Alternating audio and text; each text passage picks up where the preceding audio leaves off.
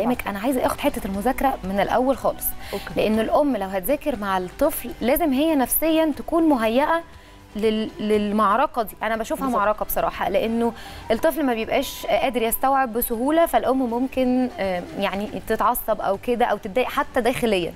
فإزاي الأم بنفسها تهيئ نفسها إن إحنا دلوقتي هنقعد ونعمل هوم فلازم تكون ريلاكس أول حاجة لازم أبقى فاهمة إن أنا مش داخلة خناق مع ابني. أه. أنا بنمي مهارات ابني. تمام. أنا بديله معلومات هي مهمة بالنسبة له هتفيده. فمهم حاجتين للطفل يبقى عارفهم. هو بيذاكر ليه؟ ويذاكر إزاي؟ لكن ما اديهوش ورق يلا يا حبيبي ذاكر. إزاي؟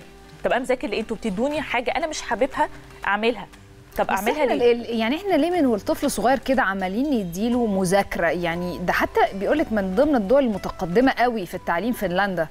فنلندا عندوش تسيب واجبات. اللي يلع- يلعبوا يعني ما عندهمش واجب أصلا ما عنده بالظبط آه، عندك النظام التعليمي. آه النظام التعليمي الياباني لحد ما بتخلص مرحلة الابتدائي بيركزوا اعلى يعني الدرجات بتتحط على السلوكيات بالظبط آه، الأخلاقية والسلوكيات ويدخلوا ينظفوا الحمامات وينظفوا مكانهم وينظفوا ويعاملوا بعض يعني ليه إحنا حاشرين الطفل لسه يعني عنده أربع سنين وعمالين لو اكتب يا ابني واقرأ وخد ال- آه، مش عارفة أنا لو إيه ابني فاشل. هبقى أنا أم فاشلة.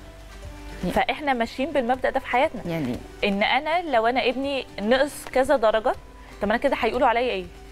آه يعني دي ضغطة فظيعة جدا طبعاً. على نفسية الطفل من الأساس. بالظبط. آه. فعشان كده بقول لكم هي المذاكرة هي إحنا بنستمتع مع بعض. أنا بديله حاجة هي هتفيده.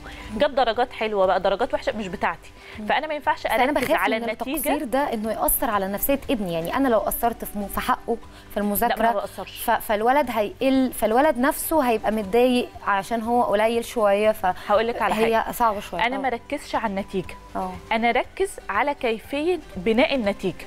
لكن لو فضلت مركزة على النتيجة على فكرة أنت لازم تجيبي ال full mark. على فكرة لازم تجيبي درجة pressure. تحت stress بالظبط. لكن آه. تعالى نذاكر. صح. فأنا أركز على ال- المدخلات اللي أنا بدخلها له ما أركزش على المخرجات ال- ال- اللي أنا مستنياها. مم. لأن هو ممكن يكون آه، مش متفوق دراسيا بس متفوق في حاجة تانية. آه، فكرتيني بجون لينن اللي هو يعني قائد فريق البيتلز اللي هو ال vocal بتاع فريق البيتلز آه، آه، كان مامته وهو صغير كانت تقول له أنا ما يهمنيش أنت تبقى ناجح أنا يهمني أنت تبقى سعيد. لما حد يسألك آه، أنت عايز تطلع إيه قول أنا عايز أبقى سعيد. فلما راح المدرسة المدرسة بتسأله أنت عايز تطلع إيه؟ قال لهم أنا عايز أبقى سعيد. أعتقد إنه الرسالة دي مهمة قوي في التربية. طبعا. إن أنت بتحسسيه إنه أنت في الآخر الغاية إيه؟ أنت عايز تبقى سعيد. يعني إحنا لما بنتعلم وبنشتغل وبنتجوز وبنروح وبنيجي أنت في الآخر عايزة تبقي سعيدة.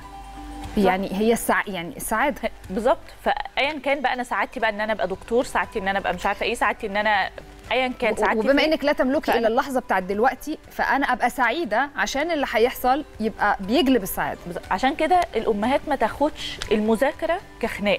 بالظبط. هي مش خناق. بالظبط. هي أنا ابقى مستمتعة وأنا بعلم ابني.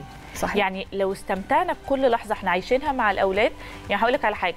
أول ما الأم بتخلف أصعب فترة ومش أصعب فتره بعدها بشوية. دي بصي بقى يعني عدي بس الفترة دي والباقي كله هيبقى زي فكل فترة إحنا بنقعد نقول عليها صعبة حتى فترة المذاكرة بنقول عليها طب ليه نخليها صعبة ما إحنا لو استمتعنا وعلى فكرة هي دي اللي بتخلي الطالب لما يكبر يبقى كاره المذاكرة بسبب الأم لأن هي دايما ربطته ربطت ذهنيا معاه إن المذاكرة دي ساعة التعذيب بقى بالظبط ما هو ده السجن اللي إحنا أنا بقول لك أنا طفل قال لي أصل أنا داخل السجن ليه يا بالظبط. حبيبي داخل السجن إحساس صعب بالظبط هو ف- عارف السجن منين يا حبيبي أصلا يعني السجن المسلسلات. نفسه آه، منين. المسلسلات. مسلسلات آه. وأفلام هو آه. بالنسبة له ده سجن آه فإحنا بنلاقي كمان إن الطفل هو حافظ بس المنهج اللي في المدرسة اللي الام بتحفظه له وما يعرفش أي حاجة تانية.